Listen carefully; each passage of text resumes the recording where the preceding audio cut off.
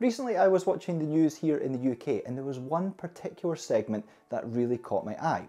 The journalists were basically interviewing people out on the street late at night who were walking around trying to find scorpions. Now you're probably wondering what scorpions have to do with golf. Well, what they were doing was they were basically using UV torches to identify these scorpions in these dark and low lit conditions because when the UV light was shone over the scorpion, it illuminated it and made it really easy to spot. So I decided to apply the same principles to golf. Now what I did is I headed over to Amazon and I purchased this torch. This is a UV torch, it cost around about $10.99. And my plan is to head out to the golf course to see if I can find some golf balls using this torch. So I'm gonna head out to the golf course to see how many I can find.